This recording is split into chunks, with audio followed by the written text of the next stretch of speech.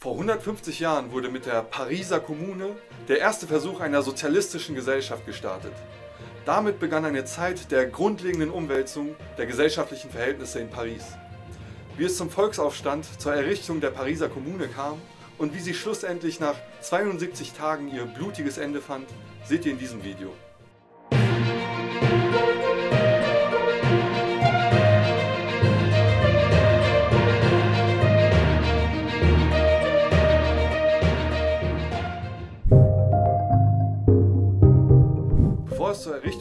Kommune kam, hatte sich die Lage im damaligen Frankreich ökonomisch und politisch stark zugespitzt. Deutschland und Frankreich waren seit 1870 im Krieg und dieser Krieg hatte besonders das französische Volk aufgezehrt. Nachdem der Kaiser Napoleon III. gemeinsam mit rund 100.000 französischen Soldaten im September bei der Schlacht von Sedan in Gefangenschaft kam, zeichnete sich schon ab, dass Frankreich den Krieg verlieren würde. Bald darauf endete das Zweite Kaiserreich in Frankreich und an die Stelle des Kaisers trat eine Nachfolgeregierung, die den Krieg weiterführte. Die deutschen Truppen nahmen weite Teile Frankreichs ein und schon bald waren sie bis Paris vorgedrungen. Im Februar 1871 kapitulierte Frankreich und trat in Friedensverhandlungen ein.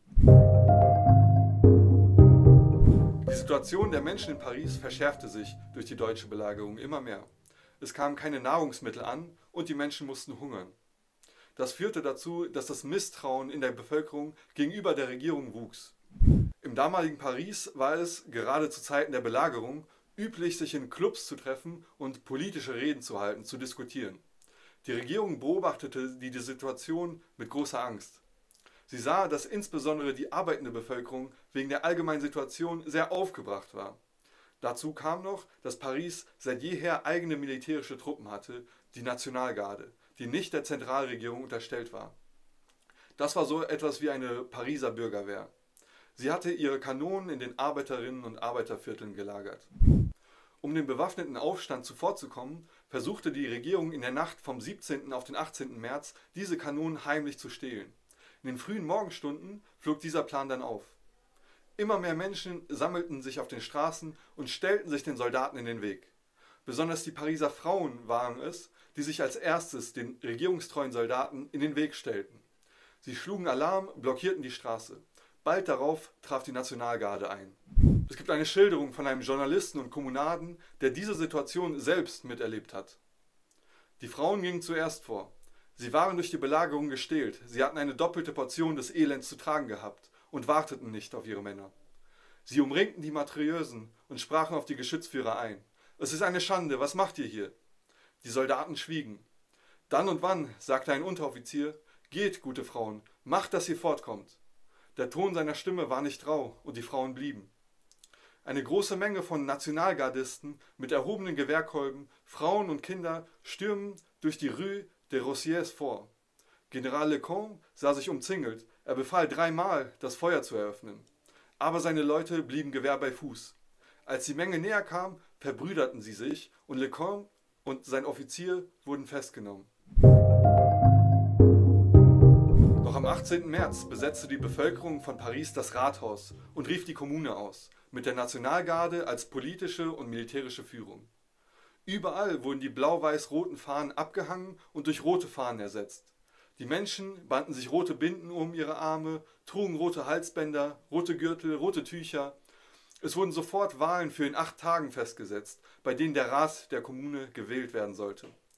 Zwar waren Menschen aller Klassen berechtigt zu wählen, doch Frauen hatten kein Wahlrecht und durften sich auch nicht aufstellen lassen.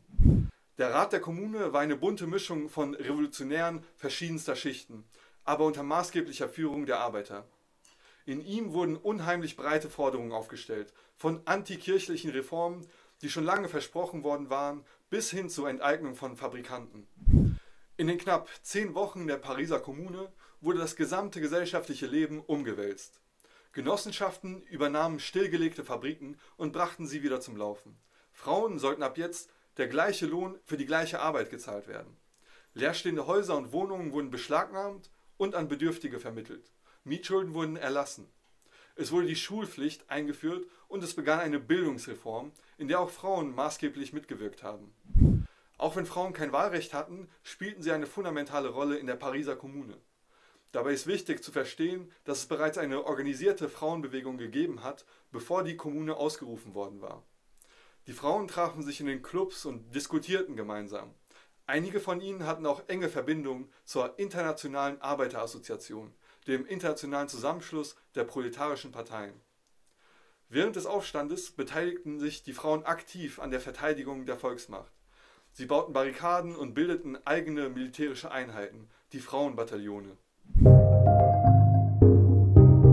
Die Zentralregierung verhandelte weiter mit dem Deutschen Reich. Am 10. Mai kommt es dann zu einer Einigung mit Bismarck. Das Deutsche Reich darf sich Elsass und Lothringen einverleiben.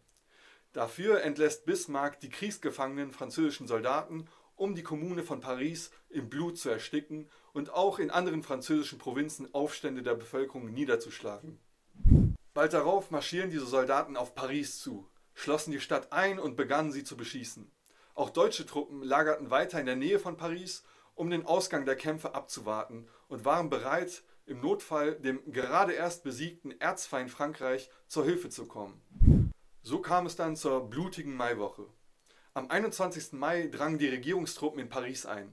Es begann eine Woche voller Straßenkämpfe. Paris stand in Flammen und die französischen Truppen metzelten jeden und jede ab, die sie verdächtigten, am Aufstand teilgenommen zu haben. In allen Straßen lagen Tote. Es kam zu Massenerschießungen. Die Schätzungen gehen von rund 30.000 Opfern auf Seiten der Kommune aus. Auf diesen Leichenbergen errichtete Adolphe Thiers die neue bürgerliche Ordnung.